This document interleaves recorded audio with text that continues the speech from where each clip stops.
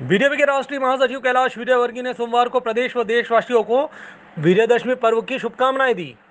इंदौर स्थित निवास पर मीडिया से मुखातिब हुए विजयवर्गीय ने इंदौर में प्रदेश में होने वाले उपचुनाव को लेकर पूर्व सीएम कमलनाथ और कांग्रेस पर जमकर निशाना साधा, जहाँ उन्होंने पूर्व सीएम कमलनाथ के इमरती देवी पर दिए गए बयान पर कहा कि वो शब्दों की दरिद्रता में उलझे हुए हैं और उनका बयान उनके मानसिक दिवालियेपन को बता रहा है। जबकि उनकी ही पार्टी के प्रमुख ने उन्हें शब्दों की मर्यादा का ध्यान रखने की हिदायत दी थी। लेकिन बावजूद उसके उन्होंने माफ़ी नहीं मांगी है, जो ये दर्शाता है कि कमलनाथ कितने अहंकारी है। तो जनता जवाब दे देगी ना?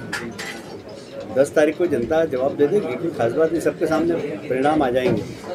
देखिए कमलनाथ जी के पास कोई एजेंडा नहीं है, सिर्फ़ कैसे भी कुर्सी प्राप्त कर लें उसके लिए जो करना पड़े, जितने नीचे उतरना पड़े, वो उतर रहे हैं। भारतीय जनता पार्टी उनके विचार उनके शब्द शब्दकोश किसी के भी किसी से भी अपनी सहमति व्यक्त नहीं करते। देश के नेता प्रदेश के भी नेताओं ने जिस प्रकार का महिलाओं के असम्मान के लिए बयान दिया है तो कांग्रेस में ही आपस में क्रिटिसिज्म हो रहा है। वही हाल ही में बीजेपी प्रत्याशी इमरती देवी द्वारा दिए गए बयान की पार्टी जाए भाड़ में इस मामले को लेकर विजय वर्गीय ने कहा कि पिछड़े और दलित वर्ग की वो महिला है और बहुत ज़्यादा शिक्षित और पढ़ी लिखी महिला नहीं है। बावजूद इसके, इमरती देवी विपरीत परिस्थितियों में समाज सेवा में लगी हुई है। ऐसे में उनके किसी भी शब्द पर मैं प्रतिक्रिया व्यक्त करूँ, ये ठीक नहीं है। पिछड़े वर्ग की महिला है, दलित वर्ग की महिला है, बहुत ज़्यादा शिक्षित पढ़ी लिखी ऐसा नहीं है, पर उसके बाद भी विपरीत परिस्थिति में समाज सेवा में लगी हुई है। उनके किसी शब्द के ऊपर मैं प्रतिक्रिया व्यक्त करूँ, ये ठीक नहीं है। इधर पूर्व मंत्री जीतू पटवारी के सीएम शिवराज सिंह चौहान के मामले में कमलनाथ के पैरों की धूल वाले बयान पर कैलाश विजयवर्गीय ने कहा कि वो होंगे कमलनाथ के पैर की धूल। वहीं उन्होंने कहा कि राहुल गांधी यदि कांग्रेस का नेतृत्व करेंगे तो कांग्रेस इतिहास के पन्नों में लिखी जाने वाली पार्टी बन जाएगी। इधर मंत्री उषा ठाकुर के मदरसों में शिक्षा वाले बयान पर बीजेपी के राष्ट्रीय महासचिव ने कहा कि मोदी जी के नेतृत्व में हमारी सरकार सबका साथ, सबका विश्वास और सबका विश्वास के ध्येय के साथ काम कर रही है। हम जब सरकारी तौर पर बयान देते हैं तो हमारे लिए पूरे देश की जनता एक समान होती है। फिर भले ही वो किसी भी जाति या धर्म की हो, उनके विकास की ज़िम्मेदारी हमारी होती है। उन्होंने कहा कि हमारी सरकार ने बेटियों की शादियों के साथ ही बेटियों का निकाह भी करवाया है। वहीं उज्ज्वला योजना के माध्यम से गैस का सिलेंडर राम प्यारी बाई को भी दिया गया है तो वहीं रमज़ान बी को भी दिया गया है। पहले जीतू पटवारी ने जो है मुख्यमंत्री शिवराज सिंह चौहान को कहा है कि कमलनाथ की पैर की धूल भी नहीं है और वो होंगे पैर की धूल जीतू पटवारी। राहुल जी अगर कांग्रेस का नेतृत्व तो करते रहेंगे तो कांग्रेस इतिहास के पन्नों में लिखने वाली पार्टी हो जाएगी। हमारी सरकार मोदी जी के नेतृत्व में सबका साथ सबका विश्वास सबका विकास और सबका विश्वास के साथ काम कर रहे हैं।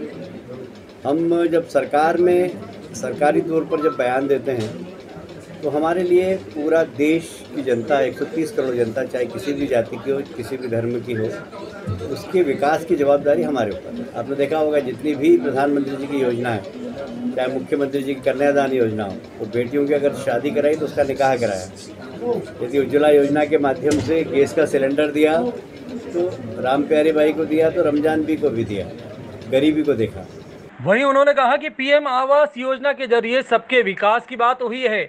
उसी प्रकार मदरसों का भी विकास हो, क्योंकि जब शिक्षा के विकास की बात होती है तो मदरसों का भी विकास होना चाहिए। उन्होंने पूर्व पीएम अटल बिहारी वाजपेयी की बात का ज़िक्र करते हुए कहा कि सरकार की इच्छा है कि मदरसों का आधुनिकरण हो। वहाँ से पढ़कर सिर्फ़ मौलवी ही ना निकले, बल्कि इंजीनियर और डॉक्टर भी निकले, ताकि देश के विकास में वो सहयोग कर सके। इसलिए आधुनिकरण के पक्ष में बीजेपी है, और उन्होंने इंदौर में ये भी कहा कि मदरसों में कुछ ऐसी गतिविधियाँ पाई गई है। इसलिए मंत्री उषा ठाकुर ने बयान दिया होगा। यदि प्रधानमंत्री आवास योजना की बात आप करेंगे तो वहाँ पर भी आप देखेंगे तो सबको हिंदू, मुस्लिम किसी को नहीं देखा। सबके विकास की बात की। उसी प्रकार मदरसे का भी विकास हो। जब आप शिक्षा के विकास की बात करते हो तो मदरसे का ही विकास हो। तो प्रधानमंत्री जी ने एक बार कहा था, अटल बिहारी वाजपेयी जी ने भी एक बार कहा था कि हम तो चाहते हैं कि एक हाथ में कुरान हो, एक हाथ में कंप्यूटर हो। और लोग पढ़ें तो एक सरकार की इच्छा है कि मदरसों का आधु- आधुनिकरण हो। वहाँ के वहाँ से भी पढ़कर लोग सिर्फ़ मौलवी नहीं बने, इंजीनियर बने, डॉक्टर बने देश के विकास में सहयोग प्रदान करें। और इसलिए आधुनिकरण के हम पक्ष में हैं, पर हाँ कुछ मदरसों में इस प्रकार की गतिविधियाँ पिछले दिनों पाई गई, इसलिए शायद मंत्री जी ने बयान दिया होगा। इधर कांग्रेस विधायक राहुल लोधी के बीजेपी में शामिल होने पर किए गए सवाल के जवाब में बीजेपी के राष्ट्रीय महासचिव कैलाश विजयवर्गीय ने कहा कि कांग्रेस के देश और प्रदेश के नेतृत्व पर कार्यकर्ताओं को विश्वास नहीं रहा है। उसके कारण ही ये परिस्थितियाँ पैदा हो रही है। उन्होंने कहा कि जितने भी नौजवान हैं वो कांग्रेस में अपना भविष्य असुरक्षित महसूस कर रहे हैं। अभी राहुल लोधी आपकी पार्टी से जुड़े हैं। क्या कुछ और भी कांग्रेस के विधायक संपर्क में हैं आपके? बहुत सारे बहुत सारे कांग्रेस के लोग चाहे विधायक नहीं है वो भी कांग्रेस के में अपना भविष्य असुरक्षित महसूस कर रहे हैं। और इसलिए बहुत सारे लोग ऐसे जो आना चाहते हैं। नरेंद्र मोदी जी के नेतृत्व पर सबको विश्वास है। वहीं विजयवर्गीय ने हाल ही में बिहार में राहुल गांधी के बयान पर सवाल उठाते हुए कहा कि राहुल गांधी ने सेना का अपमान किया है, कांग्रेस में ही आपस में सामंजस्य नहीं है। और उन्होंने कहा कि बहुत सारे कांग्रेस के विधायक और कार्यकर्ता कांग्रेस में अपना भविष्य असुरक्षित महसूस कर रहे हैं और इसलिए बहुत सारे लोग बीजेपी में आना चाहते हैं। इधर पूर्व सीएम कमलनाथ को एजेंडा विहीन बताते हुए कैलाश विजयवर्गीय ने कहा कि उपचुनाव पंद्रह साल के विकास और पंद्रह माह की अराजकता के बीच है।